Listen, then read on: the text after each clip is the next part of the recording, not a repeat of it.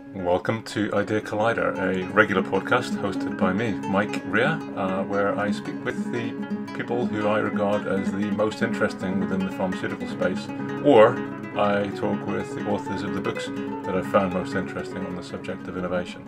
So uh, enjoy.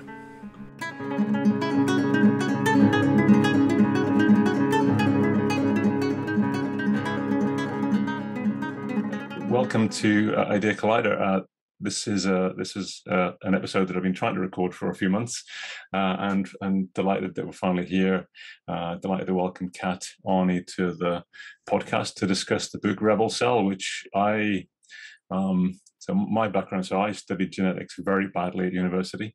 Uh, didn't understand everything I was doing then, and certainly wouldn't understand the world now um, and also enjoyed writing. And then realized that Kat is both a, geneticist and a, uh, and a, and a remarkable author. So, Kat, welcome to the podcast. Thank you. Thank you for having me on. Can you tell us a little bit more about you know how you got to the point of writing the book? You know your journey to to then. Yeah, so Rebel Cell, it's actually my third book. So my first book came out in 2016. It was called Herding Hemingway's Cats.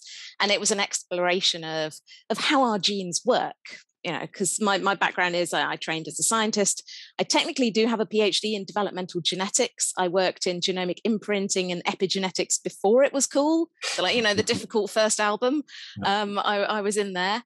And uh, and then I went into comms at Cancer Research UK, and then brought my first book out because I wanted to sort of explore, like you know, we hear about genes all the time in the media.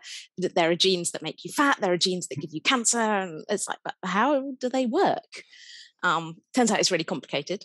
Mm-hmm. Uh, so I, I, wrote that book. And then actually, Rebel Cell um, is the book that I first wanted to write. So I'd been wanting to write this book for a long time. Its subtitle is Cancer, Evolution, and the Science of Life. And I've been wanting to write this book. I think it's probably been germinating since I was doing my PhD back in sort of the very early 2000s. And that's because I did my PhD at the Gurdon Institute in Cambridge. And back at the time, it was the Wellcome Trust slash Cancer Research Campaign Institute for Developmental Biology and Cancer, or something complicated like that. And it was a revolutionary place because it was bringing together developmental biologists and cancer researchers. And you're like, well, what have those two got to do with each other? And for me, as someone on the development side, you know, I was trying to figure out how do you go from one cell to a baby? You know i was working at the very earliest stages of life. What happens when egg and sperm meet? How do you unpack this dna that's coming from two completely different places is marked in different ways is packaged in different ways? You got to put it together the egg's got all this stuff going on in it and you have to unfold this. You have to have cell divisions you have to have cell specialization differentiation cells moving and grieving doing all the things they're doing to make life unfold and that has to work. And it works from one single set of DNA, one genome, and you unfold life. And on the floor below us were all the cancer researchers who were doing this same question, but asking what happens when you have one cell, one genome, one set of DNA, and it goes wrong. And it goes wrong in the most terrible, destructive, invasive, life destroying way it can you know and i started to really see these things as two sides of the same coin. We have development unfolding life and we have cancer kind of unfolding death if you want to see it. it's like through the mirror on two sides of life. And so this idea like just bubbled away in my head and I, I couldn't understand why other people didn't see that these two things were mm-hmm. really really deeply interconnected that it's just life. Cancer is not alien and separate to us. It's it's a process of life gone awry and, uh, you know, I spent 12 years at Cancer Research UK in the science comms team, doing all sorts of stuff, working with the marketing team, press team, PR team, um, you know, sitting on the sofa at breakfast time, telling people how to understand the latest research. Uh, and all the time I had to learn about what's going on in the world of cancer research. And from the 12 years from 2004 to 2016, you know, as you'll know in the field, there's just this revolution we went from a world where we were just finding individual hereditary cancer genes and you know sort of gene by gene to suddenly we've got GWAS, we've got genome sequencing, find all the genes, sequence all the things, develop all the targeted therapies. That's how we're going to cure cancer. And then at the end of my time there, this field really started to emerge of cancer evolution, tumor evolution. We started when we could have the tools to slice and dice tumors into tiny, tiny bits and see this patchwork of mutation within them. And I remember there was a paper from Charlie Swanton and his team that came out, I think it was 2014, um, the New England Journal of Medicine paper on kidney cancer evolution. And they got a tumor, cut it into bits, and you could draw this Darwinian evolutionary tree. And me and my colleague Henry kind of looked at each other in the office and like, oh shit, this makes things really hard. Because suddenly you see that cancer is an evolving system and that we can't treat it just by firing like single targeted bullets at it because mm. that's just evolutionary pressure. Mm. And so all these ideas came together and um, eventually kind of all, all came into the book. So so interesting. And just to just loop back to Hemingway's cat, because I didn't actually know that Key West was full of cats these days, and I didn't even realize that there was such a thing as a was it a six-toed cat? Yeah, the Hemingway cats. Yeah. Yeah, I, I, didn't even know that was a thing until your book, and then someone mentioned that they've been to they've been there, and it's basically overwhelmed by cats now. Yeah, I mean, they, these are cats that basically have thumbs, and I think that's dangerous. Uh, so I, I, think we should watch it in Florida. Florida's got a lot of problems, and the six-toed cats are one for sure. Yeah, it's one of the one of the less spoken about ones. Yeah, um, climate change. Yeah, yeah six-toed cats. Watch out. um, yeah, no. The I, the thing that I love, though, apart from the way that it's written, I think your um, you know your success as a communicator is is all the way through this book in terms of its accessibility, is that you have approached it with that mindset of it's a behavioral issue and, and it's a historical issue and it's actually a, a product of living that we've got you know the, the, cancer around and you've you've answered a lot of the questions i always had was you know do wolves get cancer as much as dogs for example? You know can, you tell us a little bit about you know the you know how the book begins and and you know what you know how the book flows? Yeah so i um there's quite a funny story to this. So originally i knew i always wanted to start with like the idea of the single cell because for me it's like this is the big question how do you go from one cell to many whether it's in development or it's in cancer mm. and i had this really clever idea that i was going to number the chapters like chapter one hmm. two, four, eight, 16, 32. And I was like, I'm going to do this. And there was like hundreds, millions. And my editor was like, this is really confusing. You can't do this. So, um, so I wasn't allowed to do that. Uh, oh, but that was the idea that I wanted this book to unfold on the journey from one cell to many and, and our understanding unfolding from, you know, it, mm. it's just about cell proliferation through to it's about evolution and interaction and how these cells are interacting in the environment mm. of the body because evolution isn't isn't genes it's like mm. how genes interact with the environment yeah.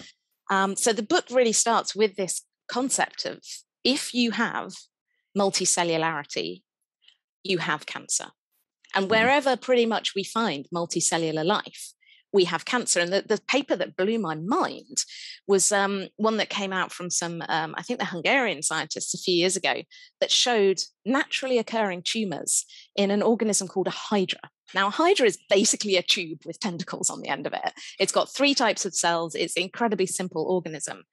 And one type of those cells, they found tumors. And, you know, this wasn't because they put funny chemicals in the water or done any genetic manipulation. This is just naturally, spontaneously generating tumors. And, you know, absolutely blew my mind when I started looking more widely across life because we kind of fall into the habit of thinking, well, cancer's, you know, it's mostly a human disease, right? Hmm. And my, my first dog died of cancer. So I'm like, well, I know that dogs can get cancer, fine. But when you realize the breadth of animal life where we have described cancers. And that does include all the ones like naked mole rats and sharks, where people are like, oh, they don't get cancer. It's like, yes, mm. they do. Mm. Um, there's a book, it's a fantastic book called uh, The Ecology and Evolution of Cancer. It's edited by a researcher called Beata Ujvari. And there's like a whole chapter just listing all the species, you know, warthogs, aardwolves, birds, ducks, tortoises, reptiles, everything. Um, there's a couple of notable exceptions, actually. So, comb jellyfish mm-hmm. don't seem to get cancer. And that's really interesting because I saw a paper recently where I think they're just on a very odd branch. They branched out right at the bottom of um, an evolutionary kind of tree. So I think they might be a bit weird. Mm. And then also sponges. Uh, there's a guy in Arizona called Carlo Maley who is basically like nuking sponges with as you know many times more radiation than would kill a human, and the sponges are fine; they don't get cancer, and it's like okay, there's something something interesting going on there. So um, so yeah, that and that is fascinating, and and of course it's not just across life that tells us that it's deeply evolutionary rooted in history. And we find wherever we find um, fossils, we can find evidence of cancer in, in human populations, in dinosaurs. Uh, the week my book came out last year in the UK, there was something like a 70 million year old osteosarcoma described in a dinosaur bone. I was like, oh, nuts, just missed putting it in the book. But um, it kind of proves the point yeah. that this is a deep and ancient disease. And wherever we find multicellularity, we find cancer because as the title suggests, rebel cell. This is because multicellular organisms have rules. Our cells have to behave in a society to keep us healthy and functioning. Every cell's got to have a job. Every cell has to not consume too much, has to clean up after itself, do the job it's meant to do, not proliferate more than it should, die when it's meant to. And some cells can work out that they can prosper by cheating. Against mm. these rules and and you know it's changes in their genome that enable them to cheat it gives them the properties of excessive proliferation all this kind of thing gives them an advantage and then we're into sort of a process of evolution where they can cheat and um, and start to kind of win in the society that they're in yeah and that was and that was so interesting that just that perspective that it's almost a sort of tragedy of the commons uh, you know issue uh, with cheats and rebels doing what is good for them but isn't good for uh, everyone. And I remember Clifton Leaf's book, uh, the sort of Truth in Small Doses, talking about cancer as you know, maybe we should call it cancering, you know, as, as a verb instead of as a noun. That you know, because one expression tends to lead to you misunderstanding it as a, you know, as an alien to be cut out instead of a process that's gone wrong. Yeah, that that was another thing that really really blew my mind and, and kind of made it feel very personal was discovering the work of people at the Sanger Institute, people like Phil Jones, Inigo Martincorena, and that work where now we have the tools to do genetic genomic analysis in depth on tiny tiny samples. Um, you know their famous paper where they took eyelid skin um, this is like discarded from a cosmetic procedure cut it into tiny tiny pieces did deep deep sequencing on them and just found that this completely normal skin it's a patchwork of mutation. And many of the mutations we find in there, if you found them in a tumor, you would call that a cancer driver mutation. We mm-hmm. find effectively, um, you know, air quotes for a scientific audience, but we we find cancer mutations in completely normal tissue, and they mm. found this in esophagus. We find this in the endometrium. We find this in blood. Everywhere we look, mm. like normal tissue is really messed up mm. with mutations that, if we found them in a cancer, mm. we'd call them a cancer driver. So that tells you that there's much, much more to making a tumor than just these mutations. You know, it's not enough just to be a, a sad cell. You know, lots of our cells are sad. They've yeah. got, they've seen some stuff, they got some mutations. Yeah. But very, very few of them, maybe one, maybe two in our whole lifetime, will emerge as a frank cancer that will will threaten our life. Yeah. So and you almost raise that question of not why do some cells become cancerous, but why do many not? Become yeah. conscious on the way. I mean, it's like the world's shittiest lottery. I, I mm. think I describe it as that. It's like so many of your cells are damaged, but each one of us will, you know, if we're lucky, have one, maybe two, maybe three, if you're really unlucky, primary cancers in a lifetime. The odds of that with all the cells in your body, all the cell divisions, the years that you live, the odds of that are infinitesimal. And it mm. made me really look at myself and go like, yeah, body, where not only, you know, I look at my arms and like, oh, we're a patchwork of mutation, but like there's some really good stuff going on here that my body is protecting me. Yeah. So, you know, I need to need to help it out to do that. Uh, uh, yeah, and, uh, and I must admit, I was reading this at the same time as uh, Steven Johnson's book, "The Enemy of All Mankind," which is about the emergence of piracy. And you know, he talks about the organization of pirates quite a lot because you've got a bunch of rebels on one ship. You need actually quite a good organizational structure for, you know, when everyone might kill you.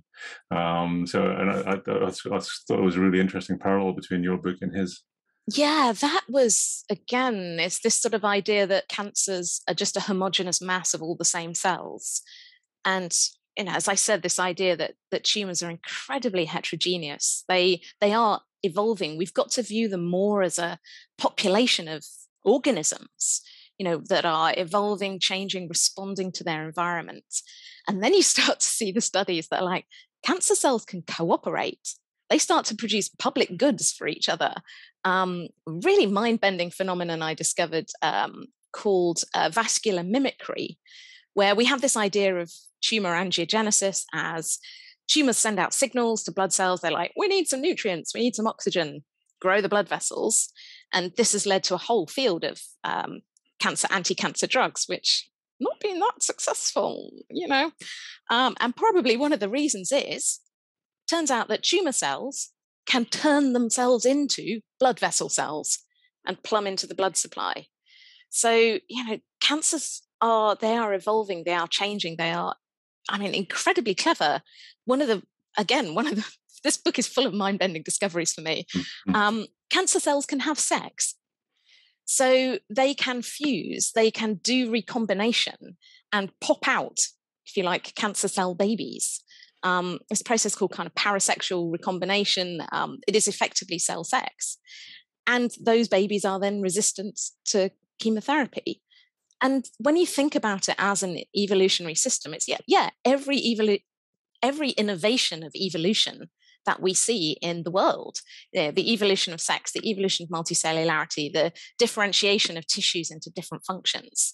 Um, cancer cells are going to do that because they've got a genome and they're mixing it up. Um, yeah. And that's yeah. really, I think that's really important to grasp.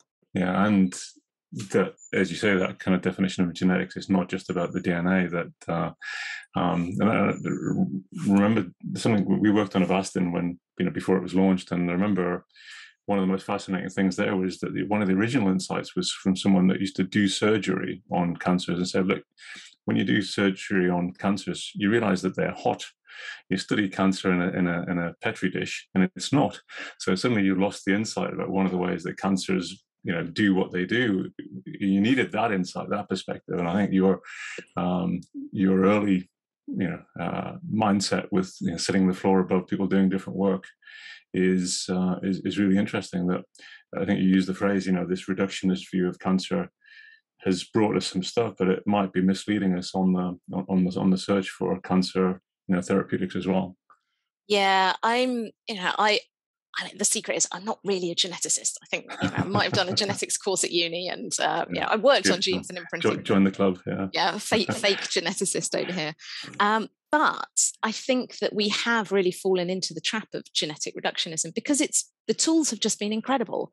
I mean, you, we've had next generation sequencing, all these incredible tools put into our hands. So of course you're going to use them. DNA is relatively easy to extract. It's relatively easy to sequence. It's robust. Um, you know, all this kind of stuff. So there's been this huge gold rush of people looking at cancer genomes, looking at um, you know, DNA shed into the blood, all this kind of stuff, because we can do it. Now we're starting to get a bit more sophisticated with transcriptomics and all this kind of thing. But the genome is not everything. And also, this is an evolving dynamic system. And one of the one of the companies that I work with is a, Swiss company called Biognosys, and they're a, a mass spectrometry proteomics company. And that's pointing out that like you know, it's not just the genes. Genes make proteins, and proteins can change, and you can have modifications, and they can change their shape, and all this kind of stuff.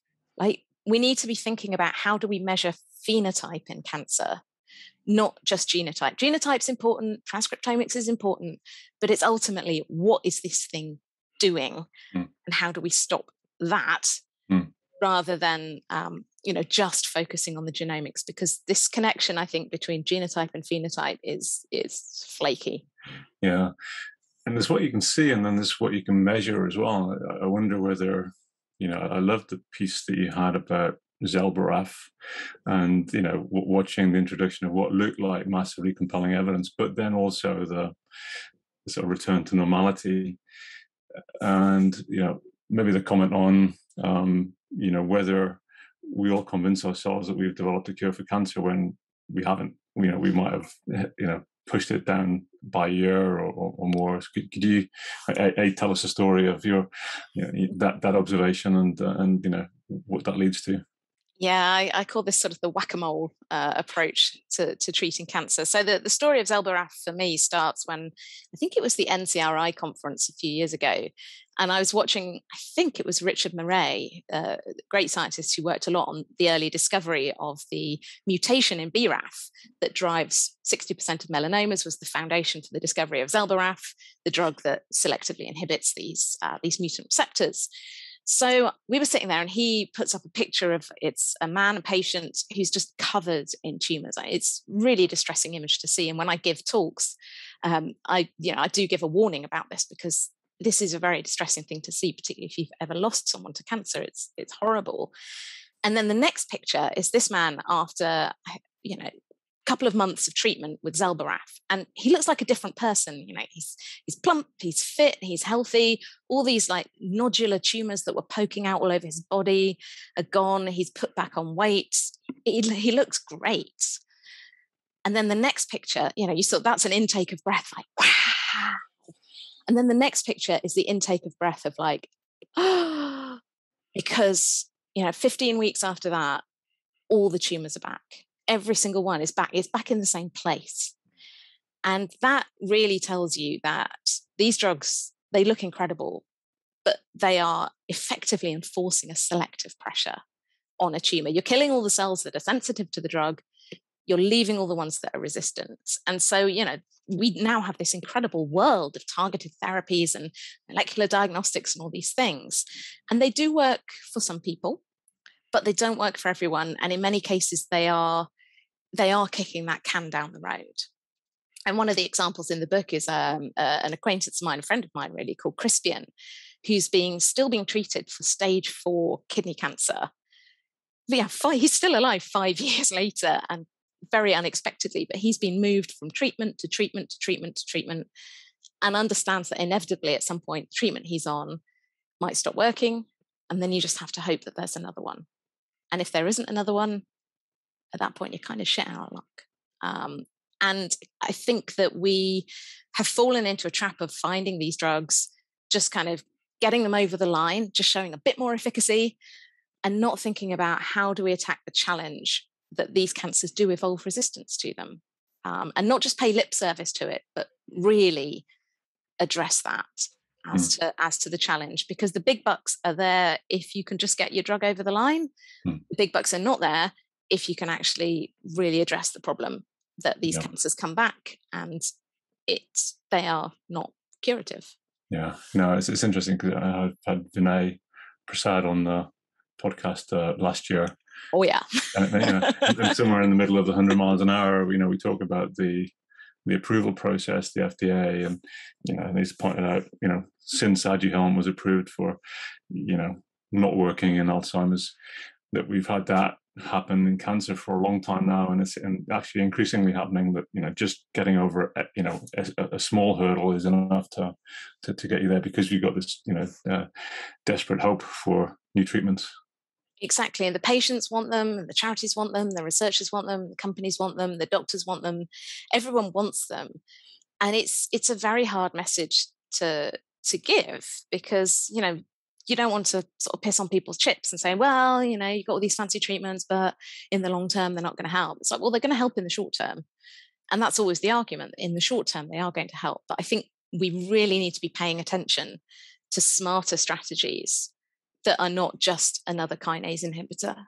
Hmm. You know, that we can just get over the line because we can just show a bit more efficacy, bit more not even overall survival, just a bit more progression free survival than the last guy. Um, yeah. I think that really needs to stop. But as, as Vinny said, and I, I listened a lot to his podcast when I was researching the book, you know, if you have a a dad who says, "Well, son, I'll I'll buy you a car if you get a D in your A levels." Like, well, the kid's not going to get an A. There's no incentive. Yeah, All the yeah. incentive structures are wrong, um, yeah. and that's no one in particular's fault, but it's a, a big challenge yeah, it's, it's, another tragedy of the commons, I think, in, in, in that sense, the sort of behavioural one. Um, but that, um, you know, I want to also draw a parallel with, say, the COVID pandemic that uh, I think you point out in the book is that 90% of all human cancers are in the over 50s. You know, so it's, it's almost a, it's, it's not a disease of aging, but it's a disease that we're seeing because of aging, a bit like the dementias. You know, um, could you expand on that a little bit? Yeah, so this was the sort of the interesting theory that I encountered, which is this idea of like adaptive oncogenesis, which is not just saying, okay, curious observation, like cancer is more common in elderly people. And there's this idea that um, cancer is more common in elderly people because the older you are, the more time you've had for typos, you know, mutations to accumulate in the cells of your body, and something's going to go wrong. But that's when you look at it, okay, it's a bit more sophisticated than that because the graph of cancer incidence by age is not a straight line. It's not this kind of, you know, 45 degree line straight up, which is what you would expect if mutational load accumulates steadily through life and is relevant uh, relative to cancer risk. That's what you'd expect. It's not what we see. Also, like the times in your life when you have most cell proliferation, when there's most chances of things going wrong, or when you're younger because you're growing, you're proliferating loads of cells. Uh, and we don't see massive, you know, incidence of cancer in, in children.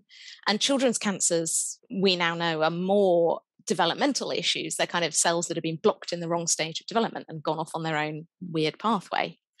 Um, so when you actually think about it, it's like there's something going on here because the graph is basically pretty flat until you get to about 60 and then it goes up. So this tells you that not only are you more likely to get cancer when you're older, but there is something protective going on in younger tissues. And so is that immune system? Is that the integrity of your tissues? Is this inflammation? Is this just like the processes of aging?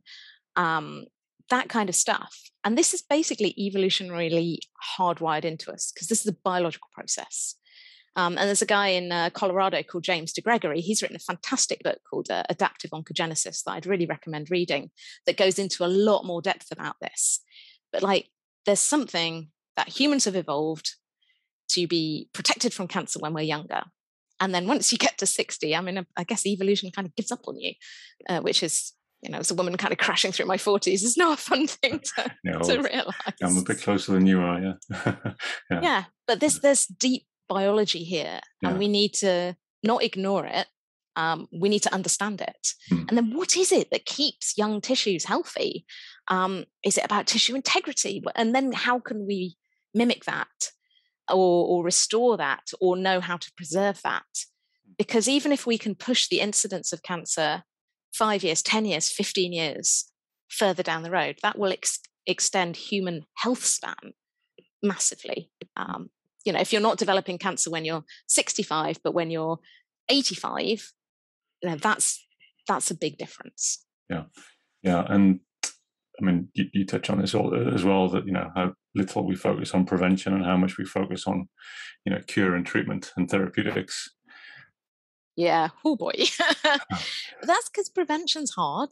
Mm. Um, I mean, you know, we do know what what behaviors uh, contribute to a lower risk of cancer. We know what behaviors and things contribute to higher risks of certain cancers. And yeah, it's the boring stuff. It's don't smoke, take exercise, don't be too overweight, eat a healthy diet, don't burn yourself in the sun, don't drink too much booze. You know, the the boring things. But what we don't really know in a lot of cases is why. And the one I think is really, the two I think are really interesting are um, body fat and physical activity. We know that physical activity is protective against a whole bunch of things, including cancer. Don't really know why. Um, my my bet, uh, as with most things, is it's something to do with inflammation um, and tissue health overall. But yeah, if we can understand what is actually keeping tissues healthy and controlling the rebel cells. Our bodies are full of these like cells that are damaged mm. and they don't go awry because the society is kind of tight around them. Mm. Um, so, what is it that keeps tissue healthy? As scientists, we tend to ask what's gone wrong. We're always mm. asking what's gone wrong? Why did it go wrong? Hmm. Because it's much more challenging to ask, well, why did it not go wrong? Why did something not happen? Why did we have a near miss? Hmm.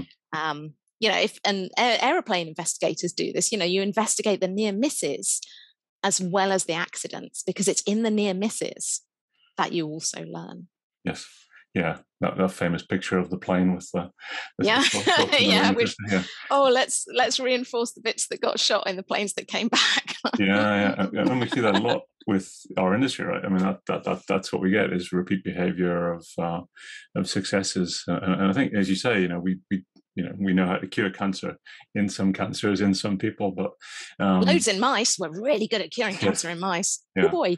Oh that's another point as well with the the age issue is that we do so many cancer experiments on young male mice. And like who gets cancer?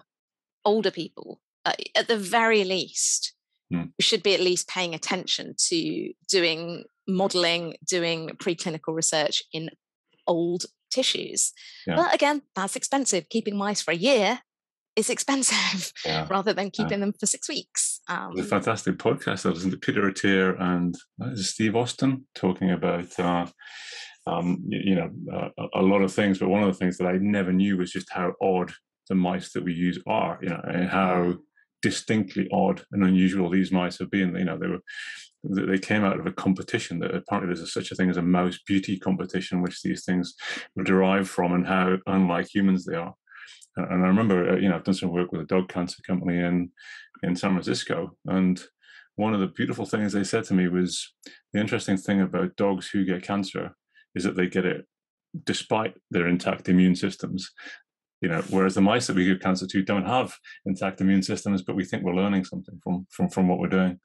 Yeah, no more mice, maybe. yeah. well, yeah, and it, and it seems like an odd thing to believe that any of it is useful for dementia or for cancer or any of those other things. Um, so you know you're still optimistic. You know, you, you know, there's an optimism that is written all the way through the book about you know uh, ways that we could be thinking about you know cancer drug development. Can you give us your sort of top three tips? Well, so so this is sort of there's the personal side of it because I do I do often get asked like, well, based on everything that you know and everything that you've written about you know how should we think about like what, what should i do to mm. protect myself from cancer and like, my first thing is well don't be adding to your mutational burden we know things that cause mutations and you know, we've got the work of people like the, the team at the sanger institute doing the Mutographs project where they're just finding out like what damages dna how does it damage it? It's like okay we know a bunch of things so don't add to your mutational burden. Um, and then the second part of that is do the stuff that we know maintains tissue health.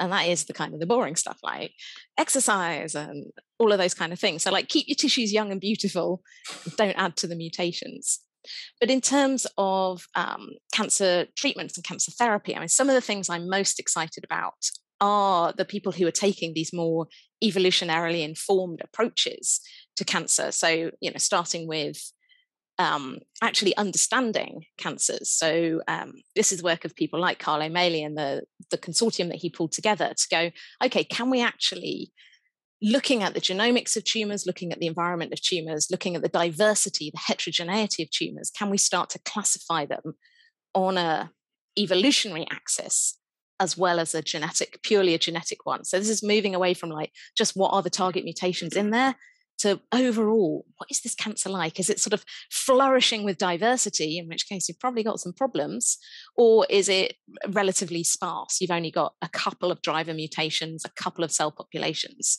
in which case that's a really good bet for you know targeted therapy and, and minimal therapy.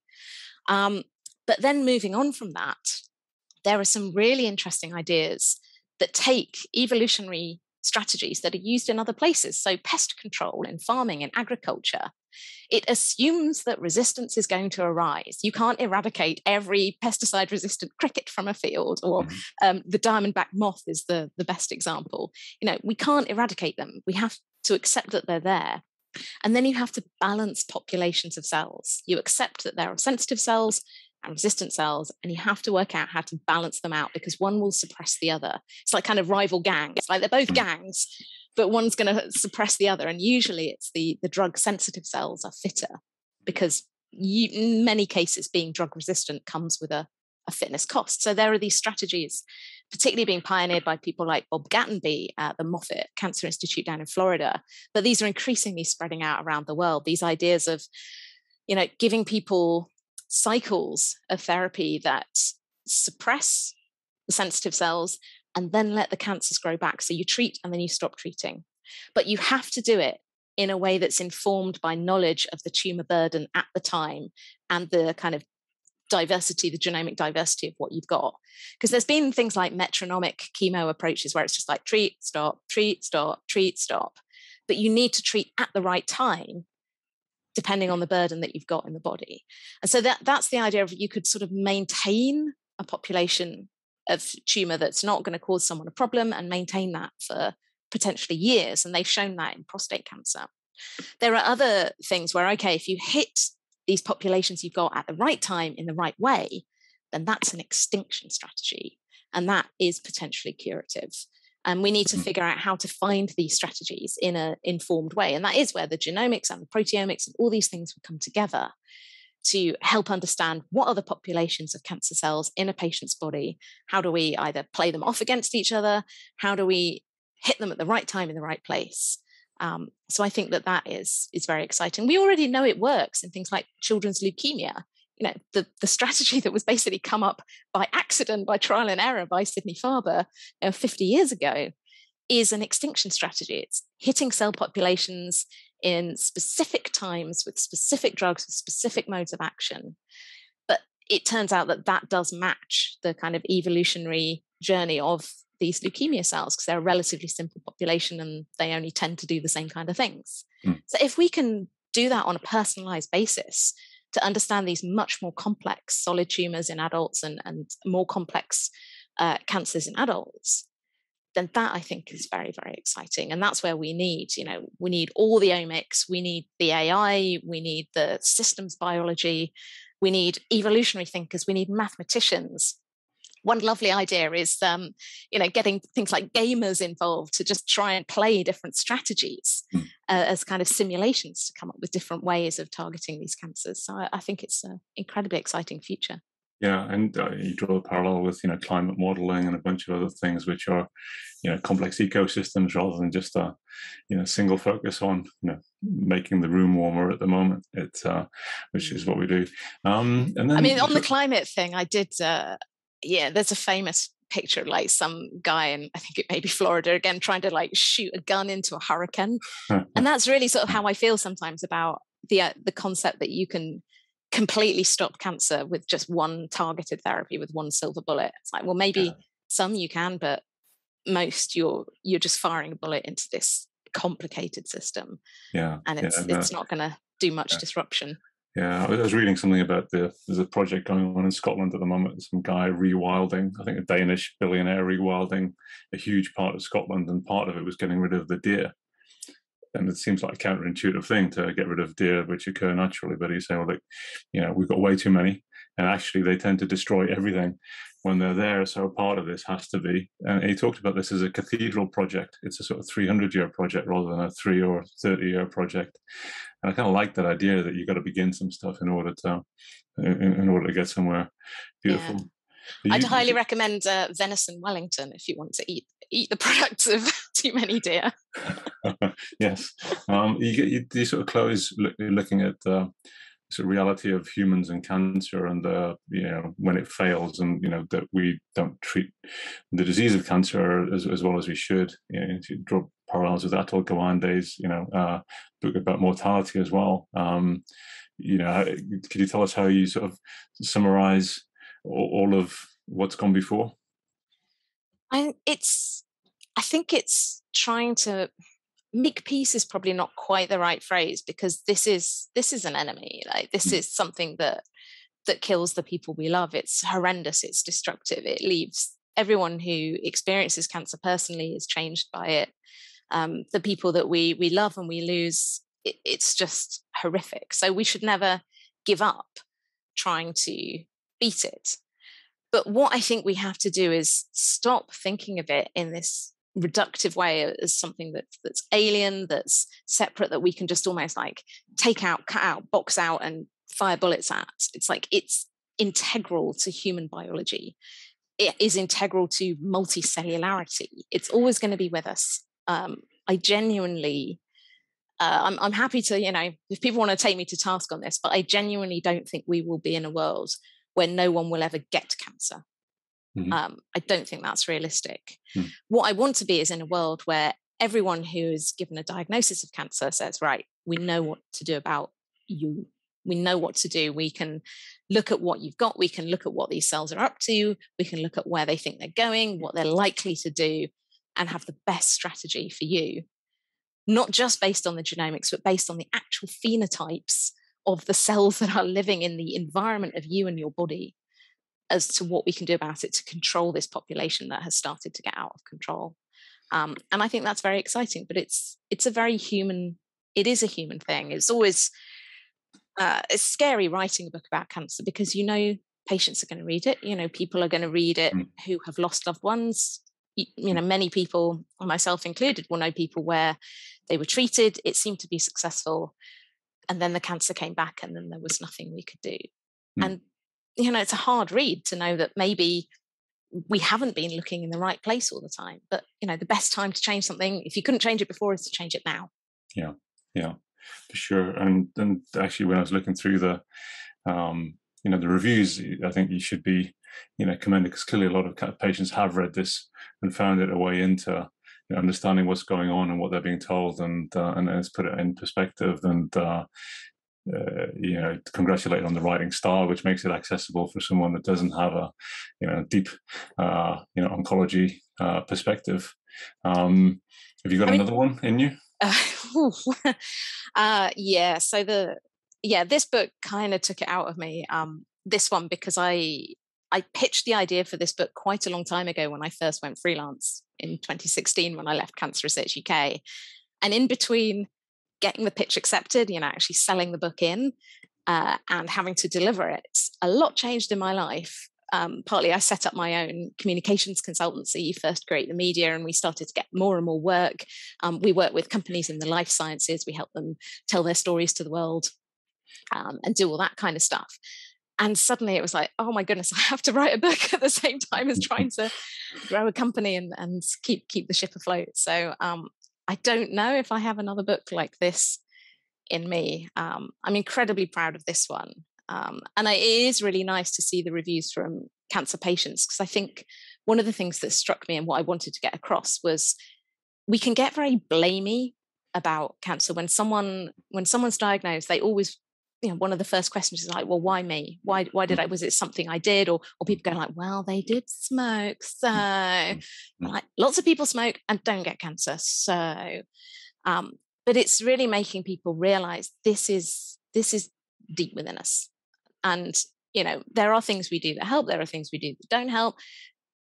What can you say about any individual situation?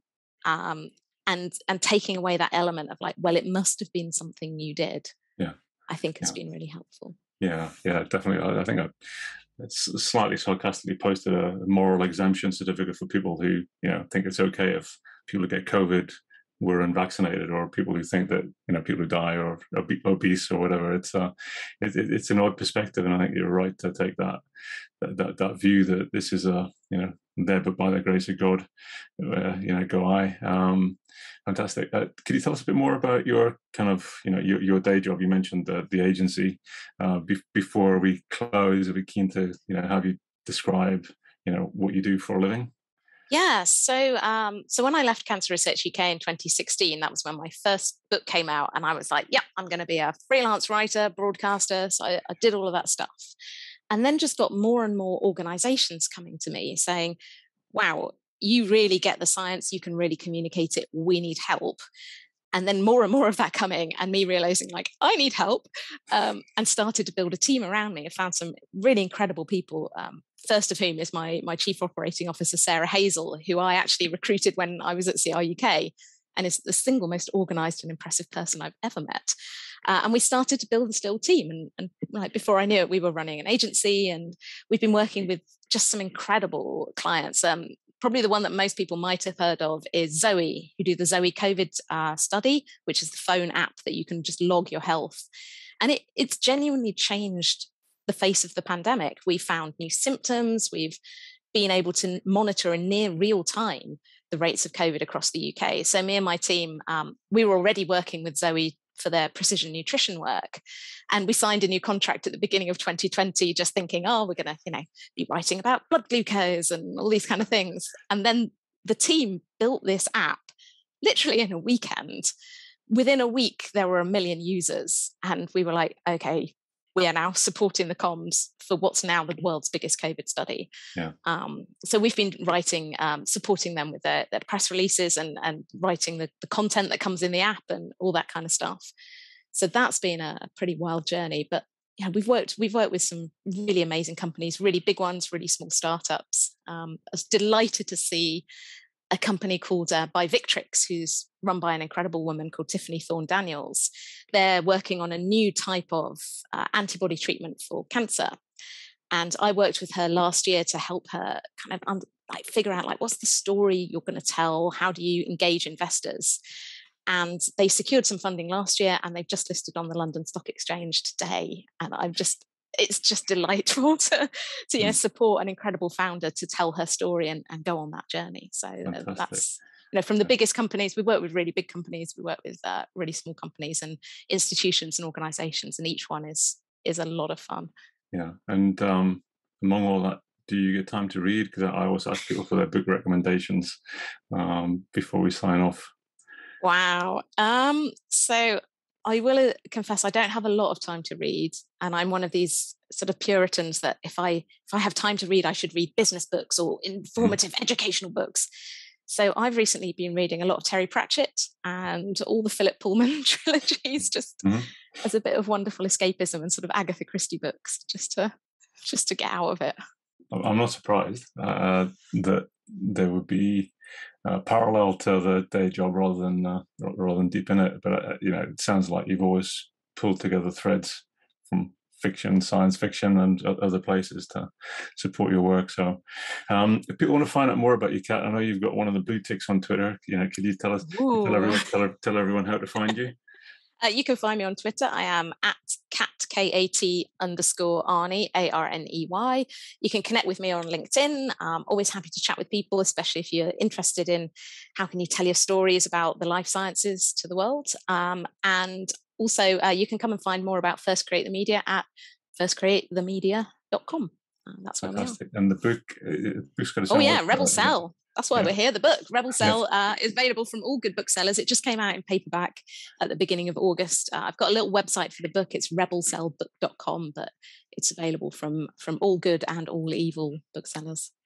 Fantastic, Kat. It's been uh, as much fun as I thought it would be. Uh, thank you for joining me. it's been a delight. Thank you